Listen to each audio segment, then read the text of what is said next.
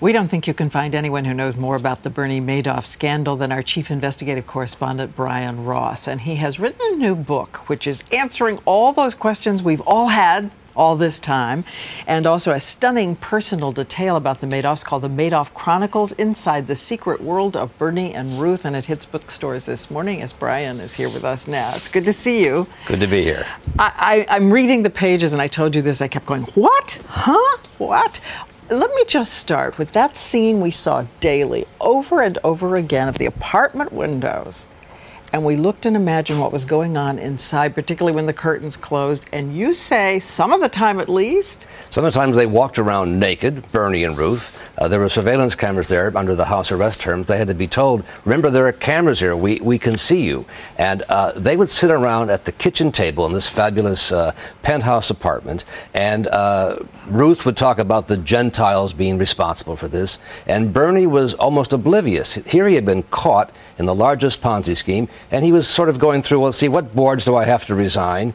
Told that one of his victims had committed suicide, uh, Madoff's reaction was, well, that guy couldn't pick a stock if his life depended on it. It was almost as if he blamed the victim. He was weak. how did you know this? We have people inside who gave us rare access to what was going on, what was in the minds of, of Bernie and Ruth. I think we have a very good picture in this book of what was going on. Another portrait you paint is of Ruth's relationship right now to their sons, to their two sons, and she has called their behavior unconscionable and outrageous. They're furious with their sons, and the sons were, they claim they did not know until the day before the arrest. Uh, Madoff took them to the apartment, revealed that he was a fraud. Uh, they were upset. Uh, one of them was on the floor crying. Uh, he said, Give me a week before you turn me into the FBI. Then you turn me in so you'll look innocent.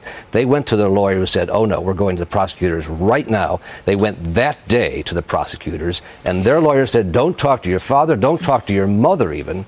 Ever again until this is resolved. You want to stay out of prison. And you say there's some reporting right now that they are looking at the sons for tax charges at this moment? Absolutely. There's a civil lawsuit being brought by the bankruptcy trustee. They took $30 million in so called loans from their father. It was the investor's money that he stole, but they never declared that as income, which could be considered tax fraud. Well, I should tell everyone that there's a whole chapter on the SEC, and there is Bernie Madoff sweating bullets. They're going to discover things, and of course, they're oh, they're looking right over an elephant in the room. Absolutely. And you detail how this happens. It's 'Cause They, staggering. they, they asked him, Diane, where are all the stocks you have? He had billions of dollars, supposedly. He said, well, this depository trust company holds them. He knew that was a lie, and he figured it was And a they- Friday afternoon, Monday he'd be arrested. They took his word, never checked it out. never called, never, even checked. checked it. If they had done that, that would have been the end of the scam. out. The other portrait is of, of a man who had two personalities, at least two. And on the 19th floor, the public floor, he knew even down to the detail of the picture frame what he wanted on every single desk of every employee.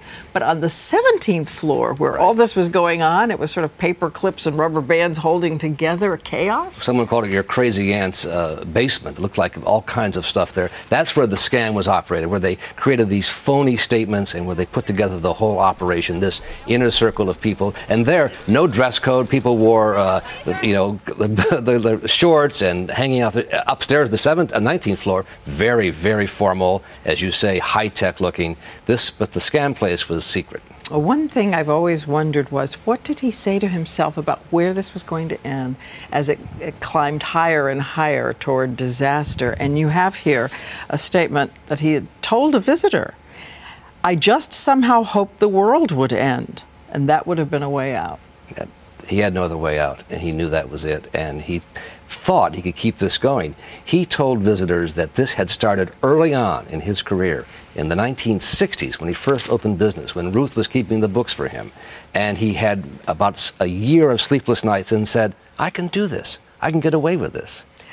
Well, again, it's uh, filled with extraordinary detail, and in some ways, a love story at the center of it, too, and, and also a great tragedy for all those who came in contact with him. And you have to read it. It is an excerpt you can see right now on Madoff Chronicles, abcnews.com slash books, but it's in bookstores today.